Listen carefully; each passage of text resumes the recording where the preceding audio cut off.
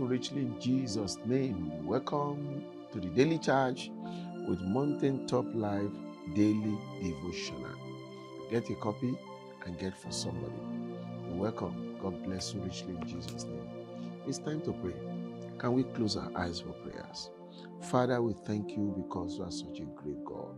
Thank you for blessing us all the time. We are gathered at your feet, Father. Open our understanding. Teach us, O Lord, by your power. At the end, Father, let only your name be glorified. In Jesus' mighty name, we have prayed. Amen. And a louder amen. Amen. In Jesus' name. Welcome in Jesus' name. Three loud amen. Amen. Amen. And amen in Jesus' name. God bless you richly. Welcome to another edition of the Daily Charge. Today we are looking at the lesson from the life of Miriam, the second part of it.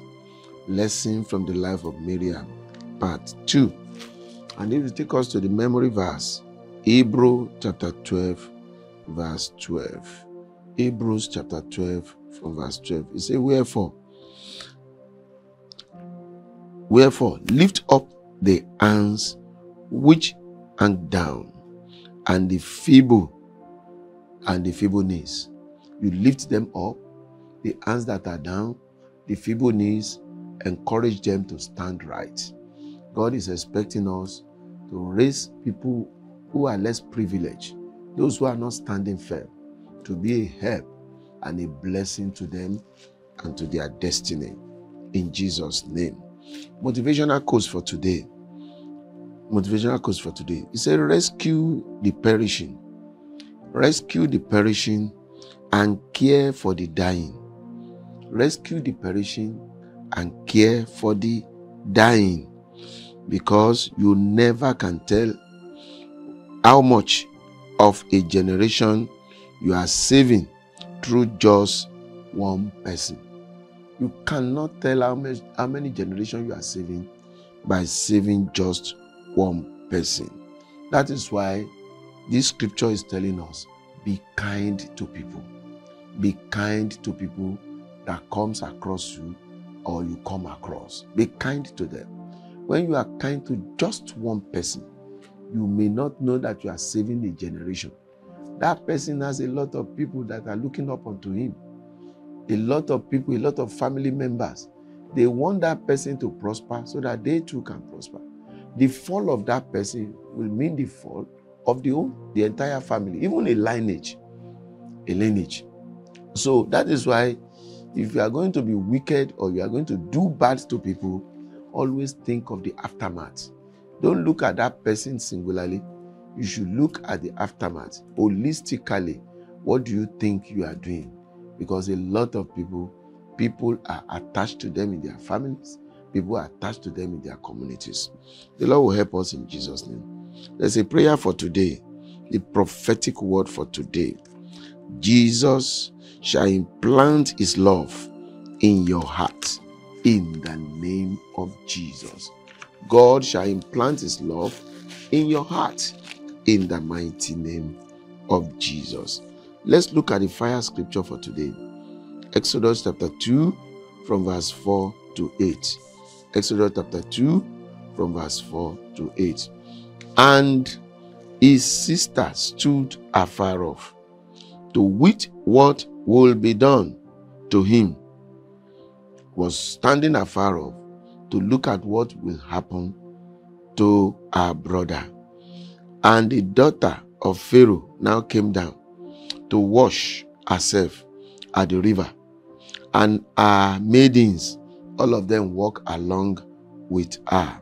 They walk along by the river, by the riverside. And when she saw the ark among the flags, flags, that is Pharaoh's daughter, she saw the ark among the flags. She sent a, a maid to go and fetch it for her. Go and bring that ark for me. And when she had opened it, she saw the child, and behold, the baby wept. The boy was crying. And because the boy was crying, she had compassion upon that child. She had compassion on him. God will have compassion on you. The helpers of your destiny will have compassion on you. When there is compassion, then your problem is solved. If God can put your case in the heart of somebody, then your problem is solved. That person will be the one that will shoulder the problem. And look at what the Bible says. And said, This is one of the Hebrews' daughter. She knew very well that this is one of the Hebrew daughter. Then said his sisters to Pharaoh, to Pharaoh's daughter, Shall I go and call to thee somebody, a nurse of the Hebrew woman, that she may at least take care of the child, nurse the child for her. So, and Pharaoh's daughter now said to her, Go, go. And the maid went and called the child's mother. Pharaoh's daughter did not know that the person that was going to be called is going to be the mother. And Pharaoh's daughter now said unto her, Take this child away and nurse it for who? For me. When somebody has compassion on you, you become his property. You become somebody dear to his heart. It doesn't matter where the person comes from. Just pray that God, the person that will have compassion on me, Holy Spirit, send them to me. By the time they are sent to you, they care less about where you came from. They care less of the kind of parents that came, that gave birth to you. They care less of your indigene, whatever you are. They care less of who you are. They now adopt you and now they take you to themselves. That's what happened in this place. Pharaoh's daughter took Moses to herself. He said, Go and nurse her for who? For me. And not only that, he said, I will now give you the wages. And the woman now took the child and she started nursing her own son. And she was collecting salary for that. What a wonderful compassion. She was collecting money for taking care of her own child. That's what the mercy of God can do for somebody. It breaks all protocols and it goes a long way to bring joy into the heart of whoever that God has have compassion upon. I pray if you can say a better element, the Lord will have compassion upon you. In the name of Jesus. God shall be merciful unto you. God shall be merciful unto your family in the mighty name of Jesus. Look at uh, Miriam. Who is Miriam here? Miriam was a loving and a compassionate sibling. Loving and compassionate sibling. She was there to ensure that Pharaoh's daughter called for the mother of her brother so that they can take good care of the boy. So she still loved her family and she did something to that family to ensure that somebody is brought out of problem. So Miriam was a loving and compassionate sibling. She stood up for her weak and helpless brother. That time the brother was weak, the brother was helpless. She didn't display the nonchalant attitude that most Christians used to display now. Nonchalant attitude. I don't know him. I don't know where he came from. I care less about him. Nonchalant attitude. What is happening to your brother, to your friend, and to somebody close to you does not concern you. As long as it's not you, you believe anything can happen to anybody. You care less. That most Christians used to have this. They display nonchalant attitude in nowadays. The Bible says he strengthened the feeble knees. The boy was weak, but the strength came from Miriam, who happens to be her sister. She became a race to her. It became a wonder to her. She became a voice to her. And uh, even though the boy was helpless, he was broken hearted, but the presence of this woman brought joy, brought life into the life of her brother. She forbid so many evil that can come to him, and she decided to stand by, and God was glorified in the life of Miriam. She, she insisted that the will of God be done in the life of Moses. And that was what happened at the end of the day. Beloved, I want to ask you now today are you a loving sibling to the rest of the family, like Miriam? When I say sibling to the rest of the family, I'm not even talking of the people who are from your blood, from your bloodline. I'm not talking of the people who are your immediate family. I'm also talking of the people who are also people coming together to you, apart from being biological people, those who are also spiritual brothers, spiritual sisters. Are you so loving that they can boast that you have been a help and you have been there for them at a particular time? Are you so loving to those your siblings, whether spiritual, whether they are physical, so that people can say you have been a wonder to their life? We are going to come back very shortly. We go on a very short break. By the time we come back, we continue this very interesting teaching. God bless you. Stop them before they stop you with this seven step agenda. Destroy every satanic image carved in your name. Decree that powers wishing you dead will carry their evil loads. Nullify satanic prophecy against your destiny. Nullify by fire every evil dark prayers against your prayers. Acquire the fighting spirit that will secure your dominion. Crush every opposition against your possession. Quench them before they quench you. It's the March Special Manna Water Trio. 13th, 20th, and 27th of March, 2024. Dr. D.K. Olukoya, the General Overseer, Mountain of Fire and Miracles Ministries, will be ministering live from the international headquarters, Lagos, Nigeria. The March Special Manna Water Trio. Stop them before the stop you. Before they stop you. Come tear down every cauldron in your line of pursuit and acquire the armor to break through. 13th, 20th, and 27th of March 2024. Come with sand from your environment each day of this meeting. 4.30 p.m. Jesus is Lord. Mountain of Fire and Miracles Ministries. Surely the Lord is here. Welcome back. We are still on the lesson from the life of Miriam, the second part of it. We we have read how Pharaoh, uh, Moses was kept in a basket and he was put by the river. The mother was laying ambush somewhere, waiting to see what will happen to him.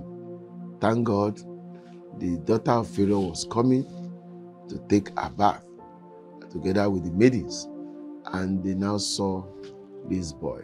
She called for him, and then she now requested somebody, a nurse, that would take care of Moses, who happens to be the mother of Moses, through the help of this woman called Miriam. Beloved, I want to ask you have you ever become a voice of rescue to anyone in your life? Have you ever become a voice of rescue to anyone? Have you said something or you contributed one way or the other to see somebody coming out of problem or coming out of issues? And uh, who in this life can you boast that God has used you to stand for? Who in this life that you can boast that God has used? If not, well, thank God there's nobody who has all the power. But if not that God has used me, this person will not have gotten this, will not have gotten that. Can you boast of anybody like that? You see, when a brother or a sister is in a mess or they are in trouble, what do you do about their life. What do you do about it? Are you not just jesting or you are singing unnecessary evil songs? Is it not that you go about mocking and touting them because they find themselves in a difficult situation?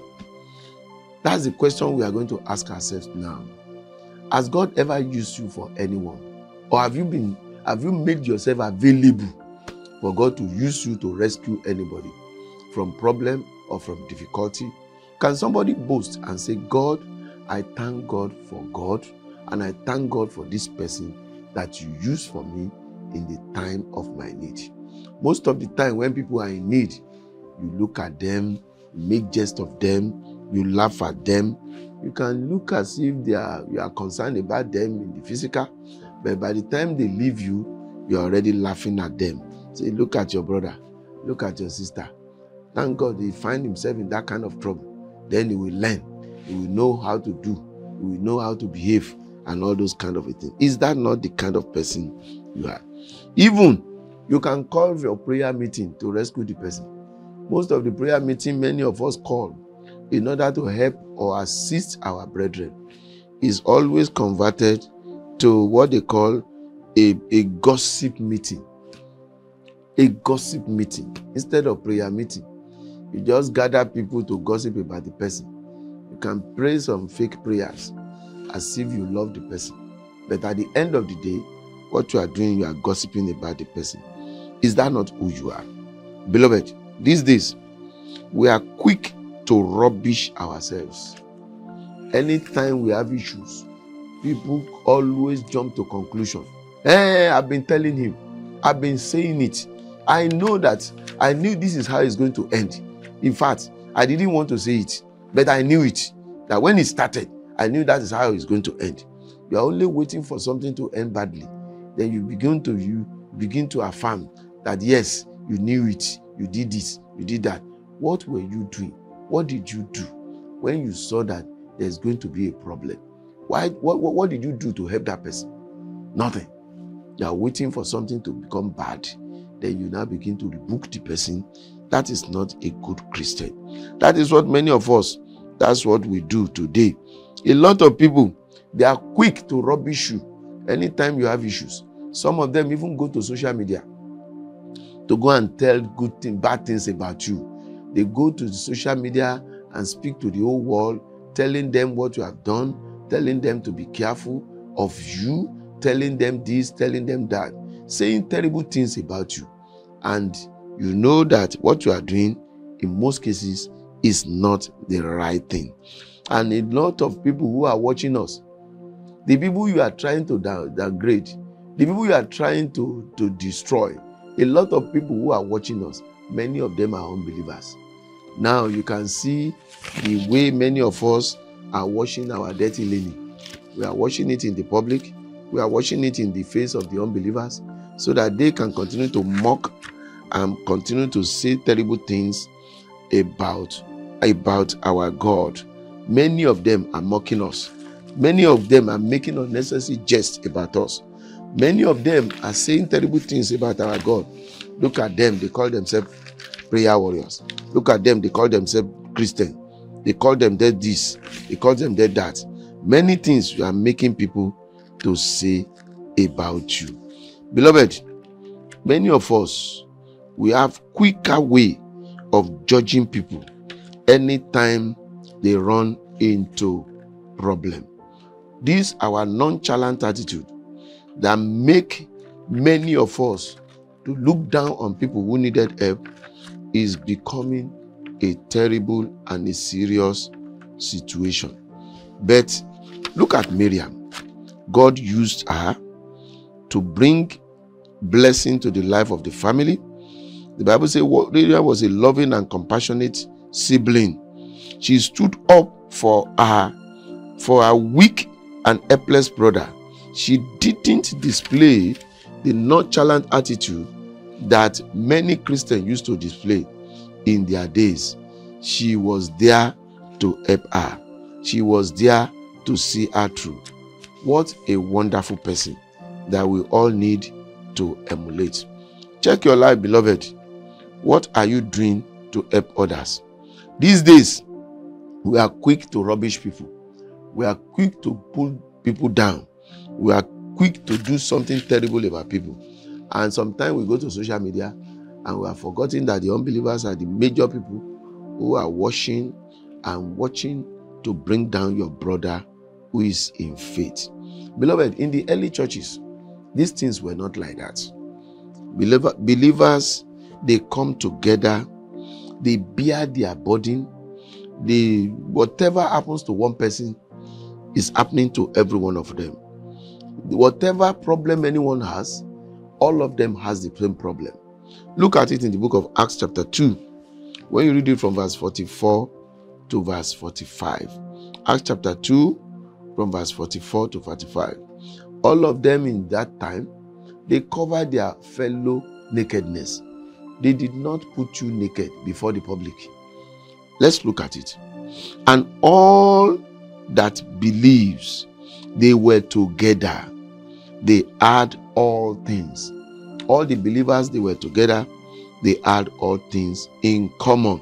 And verse 45 says, and sold their possessions and their goods, and then they parted them to all men. So every man, as many that has need, they all receive something from their brethren. Do we take care of our brethren today? Look at it again in Acts chapter 4. We read it from verse 35. Acts chapter 4 from verse 35. And lay them down to their apostles' feet. And not only that, and distribution was made unto every man according as he had need, according as they needed it. Distribution was made unto every man. People, they will donate whatever they have, they give what they have to remove tears from the face of others.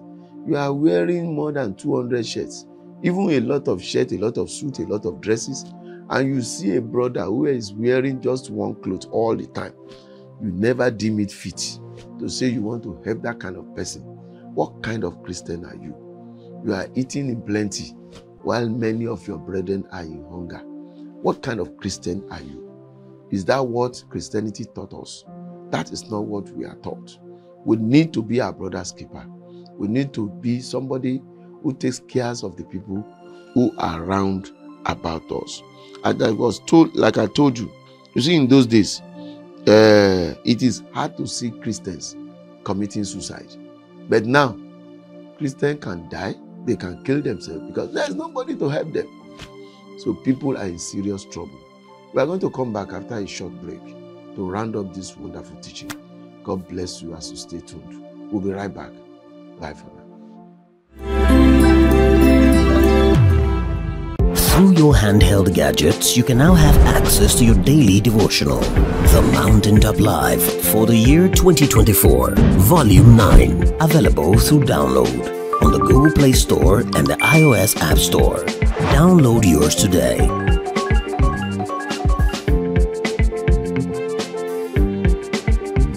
Mountaintop Life Daily Devotional, Volume 9, a life changing encounter with a God that answered by fire. Mountain of Fire and Miracles Ministries. Surely the Lord is here. The Mountaintop Life Daily Devotional for 2024 is now available. Volume 9. Get a copy today and some for those you care about, and leave your days filled with the presence of the Lord. The Mountaintop Life Daily Devotional, Volume 9. Life changing encounter with a God that answered by fire. Get a copy, visit www.mfmebooks.com or any MFM bookshop near you.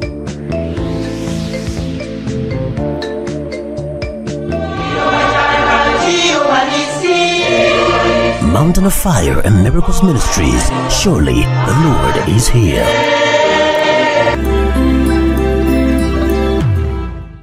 You welcome back. We are still on the lesson from the life of Miriam, the second part of it. I've told you what Miriam has done. Thank God for her contribution to see our brother through, to get a nurse who happens to be the mother of Moses. We thank God for her contribution. I've been looking at how do we see ourselves today? Is there anyone who can boast that you have been a help or God has used you to be a helper to somebody? Beloved, I was telling you before we went on break, in those days, it was hard to see Christians committing suicide because no matter be your need, people are there to run, rally round about you. They are there to provide for all your needs. But these days, hey, even some pastors, they don't even care for you. Not to talk of people who are not pastors. And that is why it has become become a serious matter for Christians to survive in this environment. It has become a serious matter for Christians to survive. We are not encouraging ourselves. We are not taking other people's burden upon us. We are not caring. We are not looking at other people's problem, especially when they have reached their wits' end. Nobody is coming to their help. Instead of coming to their help, we make mockery of them. No one was available to share and hear their burden again in our present day. These days, no one is standing up for anybody. Everybody is standing up for, for themselves. Nobody is standing up for anybody. Against every problem, nobody is standing up for anybody. Everyone is now more or less on their own. On their own. Beloved, the reason why we are looking at this teaching is for you to have a change of heart. Is for you to have a rethinking and to have a change of thought so that you can be your brother's keepers. Let's love ourselves. Let's love ourselves. If we have find ourselves in this fold, let's be our brother's keeper. No matter be the heart desire of anyone, as long as you can see somebody to rely on, that problem is gone. Even God, God is going to help everyone. Sometimes it's not going to be like manna dropping from heaven. It's like to be, it's likely to be someone that is being used for you. One person can cause you to laugh. One person God raised can remove sorrow and tears completely from your life. One person that is raised by God, who is willing to come to your help, can make you and take you to the next level in life and make you to forget long time of crying and sorrow. And you know the day you receive the blessing of God and you have a change of situation, you seem to even forget how many years you have been in that hard situation. Let us see how we can bring joy into the heart of our fellow brethren. As we do that, the Lord will help us in Jesus' name. And then we need to be careful so that we be our brother's keeper. In the last two weeks, in the last two weeks, we have uh, many people who have uh, uh, who have come across you one way or the other. What has been your response to them? The people who are closer to you, when last have you checked on them? Even in the last two weeks, how many people have you called? Have you spoken to? Today, I want to encourage you. At least make a call across to somebody. Ask for somebody's welfare. Ask for somebody's way of life. You might, by so doing, be lifting a body out of so many people who are already burdened. I pray what you have learned from Miriam will go a long way to change our life and change our love to our beloved, to, our, to, to other believers. God bless you richly in Jesus' name. Until we come your way next time, I pray the hand of God shall be upon you. The Lord will continue to keep you standing by His grace. And God will grant you the love so that you can have love for other people around you. As God Himself will continue to love you. God bless you richly in Jesus' name. Until we come your way again, remain in the firm grips of the Lord. Jesus is Lord. Bye for now. God bless you in the mighty name of the Lord Jesus Christ. We thank God for the miracle of sleeping and waking up. I decree that today it shall be well with you in the name of Jesus. The Lord God that dwelleth in Zion will move you forward in a new way in the mighty name of Jesus. No evil shall befall you this day, neither shall any plague move near your camp. Wherever you go, the favor of the Almighty shall be upon you. Your life shall be plugged into the socket of divine favor, divine restoration in the mighty name of the Lord Jesus Christ. All the evil present in this day, I bind them and I cast them out. You shall not be part of the evil that is spreading around in the name of Jesus. The Lord will make you head and never the tail in the name of the Lord Jesus Christ. I soak the whole of this day in the blood of Jesus. I soak the whole of this day in the blood of Jesus. You are going in, your coming out shall be blessings. The hand of God shall be mighty upon you. I cover you and your family with the blood of Jesus. Thank you, Heavenly Father. Have a wonderful day, beloved. In Jesus' mighty name, I pray. Amen.